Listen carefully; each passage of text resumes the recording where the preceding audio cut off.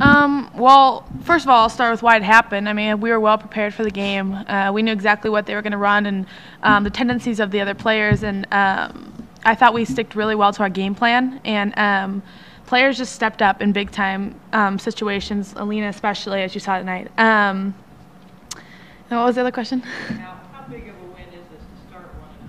Um, it's huge for us. I think that we're a really young team, and I was really, really happy to see us come out tough and not be affected by what they were like throwing at us. I think that Big 12 sometimes you can get consumed at what they're doing, but we stuck with what we wanted to do, and um, we kind of controlled the offense and the tempo. I felt, which was really, really nice to see.